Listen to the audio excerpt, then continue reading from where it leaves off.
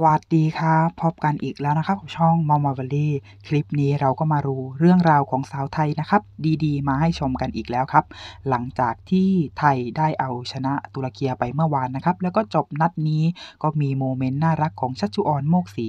เจ้าของ MVP 33 แต้มนะครับ เมื่อโค้ดกุยเดติเดินผ่านชัชชุออนเธอก็มีการยกมือไหว้โค้ดกุยเดติด้วยนะครับแล้วโค้ดกุยเดติก็มีการยกมือไหว้ตอบกลับด้วยครับถือว่าเป็นการเคารพผู้หลักผู้ใหญ่ที่เห็นแล้วชื่นใจจริง ๆ นะครับ นี่คือความน่ารักของสาวไทยของเราจริง ๆ ฝีมือดีอยู่แล้วยังไม่พอนะครับ มารยาทพฤติกรรมคือสุดยอดอีกด้วย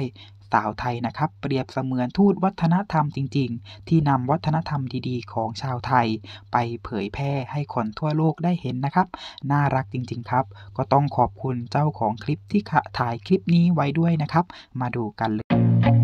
I feel nauseous, believe me. Never had a lot of shit come easy.